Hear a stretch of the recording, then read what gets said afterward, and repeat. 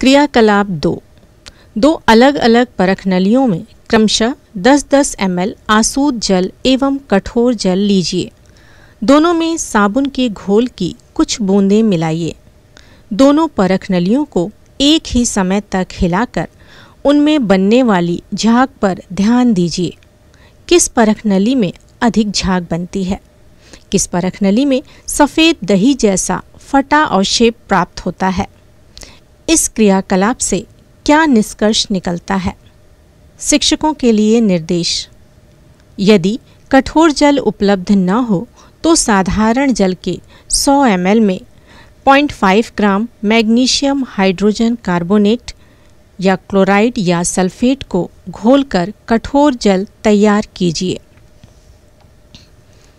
जल की कठोरता का अध्ययन हम इसी अध्याय में कर चुके हैं। कठोर जल से वस्तुओं की सफ़ाई के लिए हम एक अन्य प्रकार के यौगिक, अर्थात अपमार्जक का उपयोग कर सकते हैं।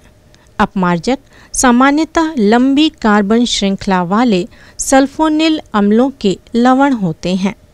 इन यौगिकों का आवेशित सिरा कठोर जल में उपस्थित कैल्शियम और मैग्नीशियम आयनों के साथ अघुलनशील पदार्थ नहीं बनाता है। इस प्रकार वह कठोर जल में भी प्रभावी बने रहते हैं।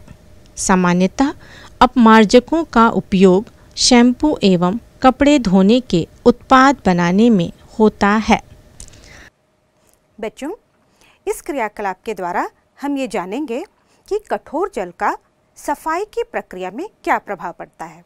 तो इसके लिए मैंने एक क्वथन नली में मृदु जल लिया है और दूसरी क्वथन नली में कठोर जल लिया है। अब मैं दोनों परख नलियों में साबुन की बराबर मात्रा डालती हूँ।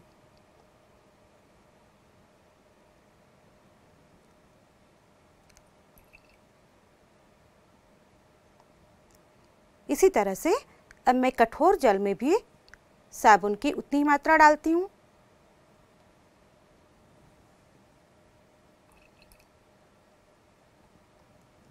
चलिए। अब ये दोनों परख नलियों को मैं समान समय तक हिलाती हूँ। देखिए बच्चों, जिस परख नली में मृदु जल था, उसमें आपको बहुत सारा झाग दिखाई दे रहा है। इसका मतलब ये हुआ कि यदि जल मृदु हो तो बहुत झाग बनता है और उसमें सफ़ाई की प्रक्रिया भी अच्छी तरह से होती है। दूसरी ओर, जिस परख नली में कठोर जल था, उसमें झाग नहीं बना ऐसा क्यों हुआ? ऐसा इसलिए बच्चों, क्योंकि साबुन कठोर जल में उपस्थित कैल्शियम और मैग्नीशियम आयनों से क्रिया करके अविलेय लवण बना लेता है।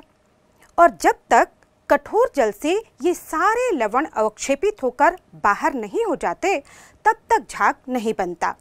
और इस प्रक्रिया में हमारा बहुत सारा साबुन बेकार हो जाता है।